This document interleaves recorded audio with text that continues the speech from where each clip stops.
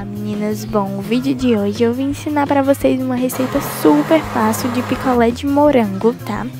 Com leite condensado. Então, é muito simples e eu tentei fazer da forma mais fácil possível, tá? Então, para começar, nós vamos para ingredientes, tá?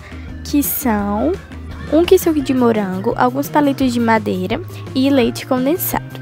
Então, para começar, eu coloquei um pouco de água no, no liquidificador, certo? E coloquei em seguida o kisuke.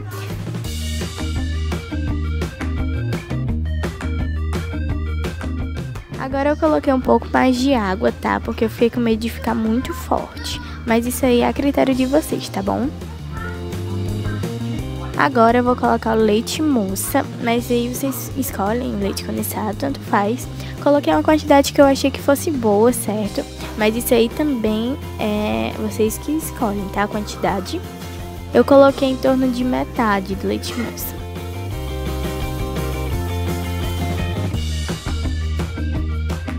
Agora, no liquidificador, a gente vai bater. Eu bati na velocidade 1, porque era só pra misturar mesmo. E ficou dessa forma.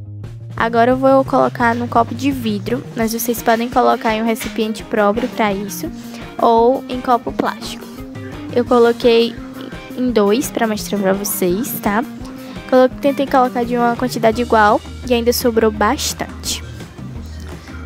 Agora eu vou colocar o palito e vou tentar deixar ele bem no meio para facilitar na hora que a gente for tirar do copinho.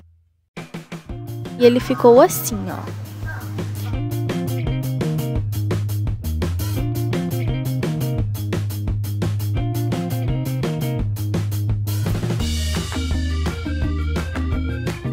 Agora eu coloquei no congelador. Ficou assim e é muito fácil. Vocês molham o fundo do copinho e depois vai mexendo o palito assim, até que ele vai saindo devagarzinho e você puxa e tá prontinho. Então, meninas, foi essa a receita de hoje. espero muito que vocês tenham gostado. Um super beijo e até o próximo vídeo. Tchau!